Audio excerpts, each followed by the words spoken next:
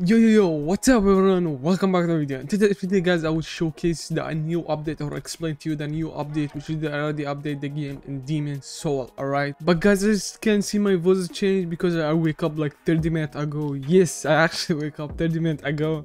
But anyway, I really love this game and I love you guys as well. But now let's hop to the video, alright? And now let's go. So pretty much they actually added quests I see right there it's daily mission. So every day every 24 hour get the same mission. Which is you have to kill like probably different mission i'm not sure exactly but you have to kill two 15 kanama. I don't know how is that supposed to mean so i have to kill 15 kanama and i have to kill um 10 rare so rare is right there. You see? I can see him. Can you see him? So basically it's on stage one. It should be.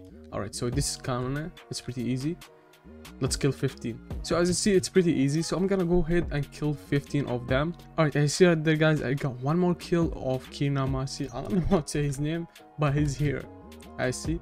So let's see if we're gonna get the reward hopefully. Okay. All right so i got the reward so each section is actually different reward for example so i see right there you have to kill 15 and you press here. Let's see what we're gonna get Okay. Oh, okay. So you press here until you see what you're gonna get. Cool. I didn't know that. So you get 2000, which is pretty much not enough because if you are actually FK, you get way way more than that. You get like 100,000. Okay, so if you kill Raya, you get 3,000 and 5 minutes 2 XP. Um, not much, but alright, that's good.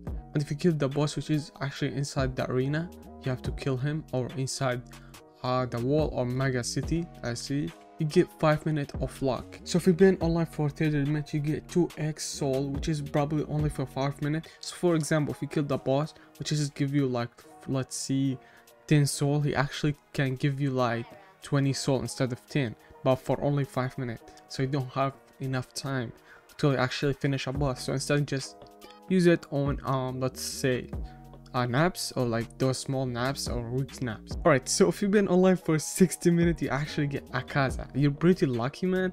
But I see it's only 60 minutes. You just go FK back, boom.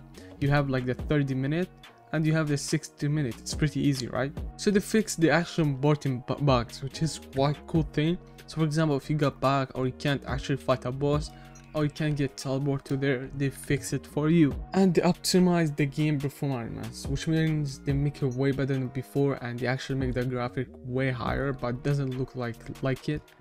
Wasn't there the animation for that i'm not sure exactly.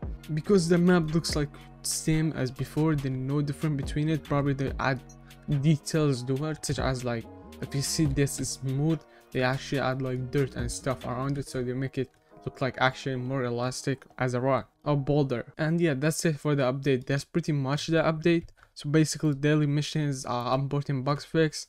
And yeah they just optimize the game performance. That's it